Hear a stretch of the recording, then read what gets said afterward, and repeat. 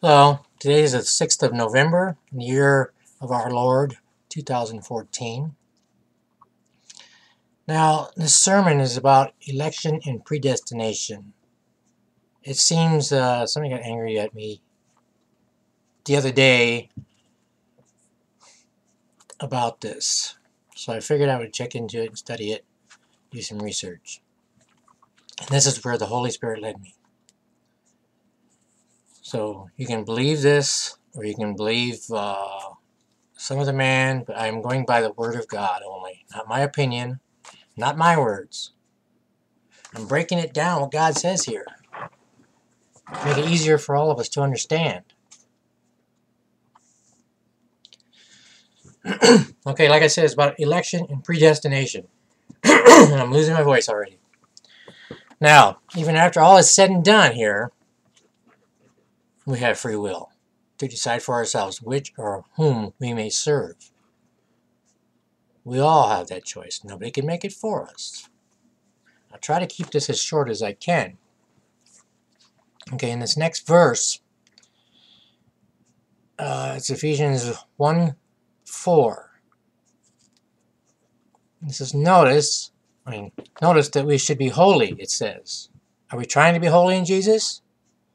I know we are all sinners, but we have to choose always. We always have a choice to obey Jesus or not. Now Ephesians 1 4 says, According as he hath chosen us in him before the foundation of the world, that we should be holy and without blame before him in love. So, he chose us. Do we choose him back? Are we trying to be holy? Are we trying to obey Jesus? It's up to us. There's a choice there. Now, in Second Thessalonians chapter 2, verse 13, says, But we are bound to give thanks always to God for you, brethren, beloved of the Lord, because God, God hath from the beginning chosen you to salvation through sanctification, sanctification of the Spirit and belief of the truth. Now, from the beginning, chosen you till salvation. Okay, he chose us. Do we accept his choice? Do we choose him? Now, sanctification of the Spirit and belief of the truth. So, this tells me, it should tell all of us, so we must be baptized in the Holy Spirit, which is truth. So to be sanctified by the Spirit, we must be baptized by the Spirit first. And this is talking about the Holy Spirit. We're not born with the Holy Spirit. We're to be baptized in the Holy Spirit when we accept Jesus as our Lord and Savior.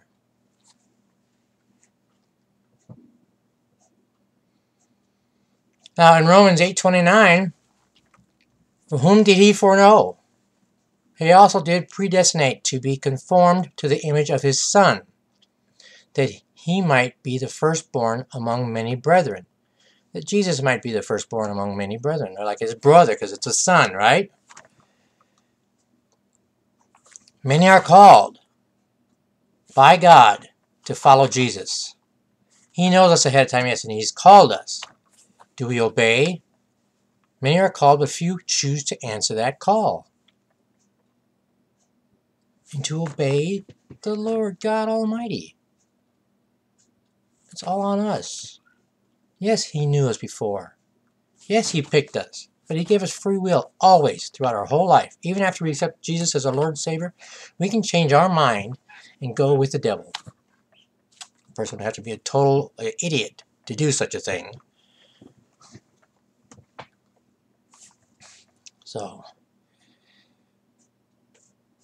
2 Timothy chapter 1 verse 9.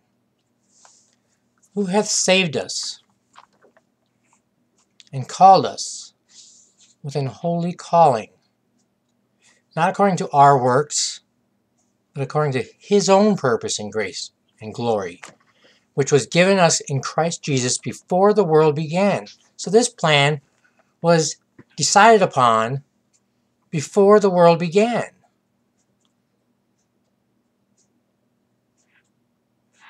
before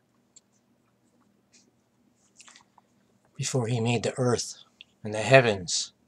This was God's plan. Now, this does not mean we are sealed of God yet. We are not born and got the seal of God on us. Not until one gets baptized in the Holy Spirit. Not until one accepts Jesus as the Lord and Savior, gets baptized in the Holy Spirit and the water, can we live by the plans God made for us. We have to decide to, to be baptized in the Holy Spirit. The Holy Spirit never just jumps on you without your permission. God never forces himself on anybody. Now, if you're saved, he'll come in, come into you and let you know right right away, a word of knowledge or something. He wants us to do all things freely. We are not robots. Now, Ephesians chapter 2. For by grace are ye saved through faith, and not of yourselves. It is the gift of God not of works, lest any man should boast. For we are his workmanship, created in Christ Jesus unto good works, which God hath before ordained that we should, should walk in them.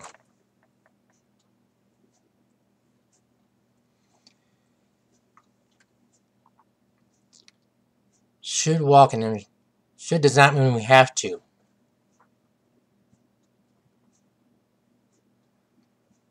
Okay? It's still a freedom of choice. Should is a condition. If we decide to do what he wants us to do, then we accept his choice and we make the choice to accept him.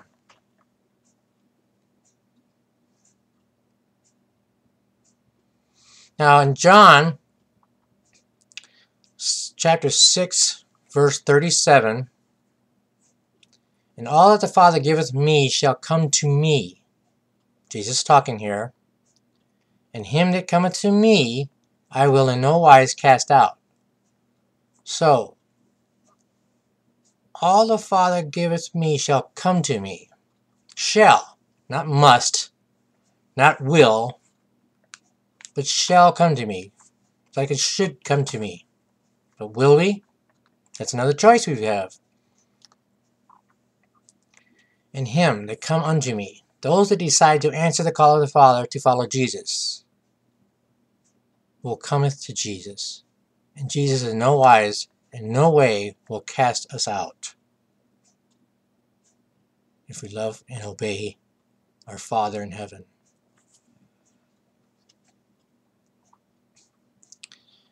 So now we jump to 1 Peter chapter 1, verse 2 elect according to the foreknowledge of God the Father, through the sanctification of the Spirit, unto obedience and sprinkling of the blood of Jesus Christ. Grace unto you and peace be multiplied. So, again, yes, Father God knew us way back before we were dreaming in our mother's eyes. Through sanctification of the Spirit, what Spirit? The Holy Spirit, of whom we must be baptized in just like Jesus was, unto obedience. We have always been obedient. Have we always been obedient to God? Have we? I know I haven't. It was a long time. I'm still not as obedient as I should be. I try though. Must stay in His Word to learn how. So, once we're born again, and we get baptized in the water, and we get baptized by the Holy Spirit, only then have we decided to go the way God has planned for us. Only then will the Holy Spirit sanctify us and give us the seal of God. Now, 2 Timothy chapter 2, verse 10. Therefore I endure all things for the elect's sake. Who are the elect? The elect are the saints who decided to answer the call to God and accepted Jesus as their Lord and Savior. That is who the elect are that they may also obtain the salvation which is in Christ Jesus with eternal glory. That we may also obtain the salvation. If we have to obtain it, we haven't got it yet. We haven't accepted it yet. Again, a choice for all of us to make. It's not set in concrete until we are born again because of the plans God the Father made for us. Have we ever made plans about anything? And we choose to change those plans in any way? Maybe we were going to go to the east 20 miles and we decided to go to the west 10 miles. A different stop, a different destination. See, that's the way life is with Jesus. We either follow him or we follow our own will.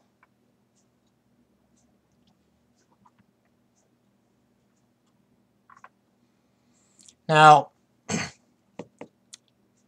is referring to Judah, Mark 14, chapter 14, verse 21. The Son of Man indeed goeth, as it is written of him.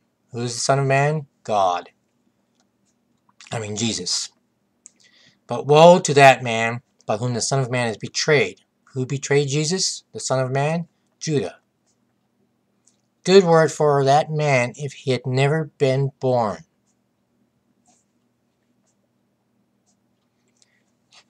Now, was Judah ever forgiven? We don't know. God knows. For, for he does what he wants. Judah felt real bad afterwards. So he may have asked the Father to forgive him.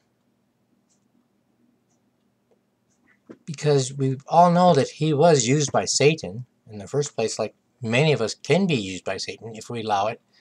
Many of us are deceived by Satan and don't even know it. God forbid that any of my brothers and sisters are. It can happen if we don't if we don't stay in the Word of God. His Word gives us the power of Jesus in us. So God only knows if he if he was forgiven or not.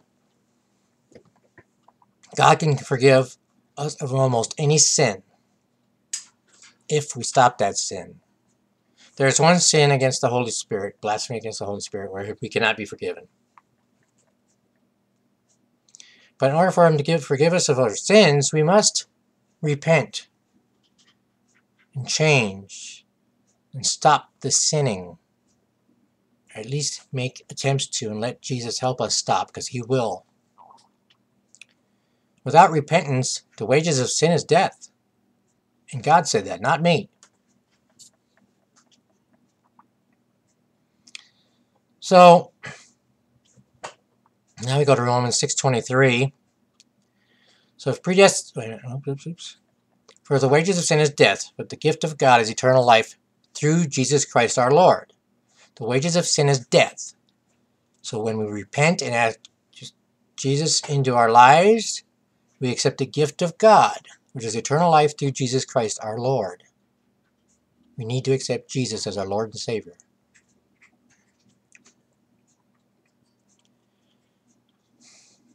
So, let's say I get a gift for you for your birthday. You don't accept it or open it. Same thing. Perhaps you took it back. I don't know. We need to accept this gift in our hearts and our minds. Not just say it, but really feel it in our hearts and minds. And believe it in our hearts and minds. Now, John chapter 3 The same came to Jesus by night. He said unto him, Rabbi, we know that thou art a teacher, come from God. For no man can do these miracles that thou dost, except God be with him. Jesus answered and said unto him, Verily, verily. And when Jesus says verily, he is serious. I say unto thee, except a man be born again, he cannot see the kingdom of heaven. Where's that predestination now? It is our choice again to decide.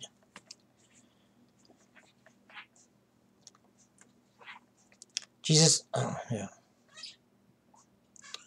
So it's always up to us. Jesus answered, Very, very, except a man be born of water and of the Spirit, he cannot enter the kingdom of God. This is John chapter 3, verse 5. You know, of course, Jesus loves us, and Jesus is God. He has done all he can for us.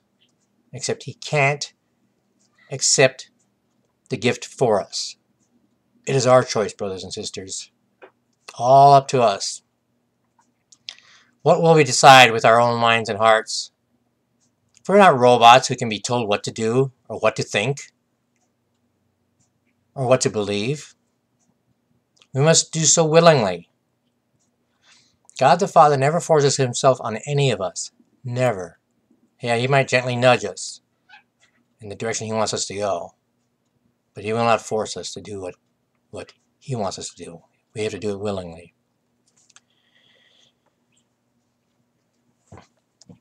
Kind of like he insisted on I start preaching and teaching. He was after me for a long time. For one reason or another, I didn't. Maybe it was selfishness. Was in all this political garbage, which we as Christians need to be into.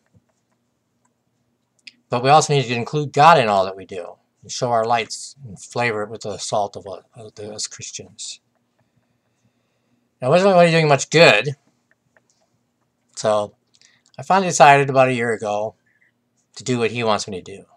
And now that I'm doing it, I enjoy it. I love it. There are bad days because, you know, you get attacked.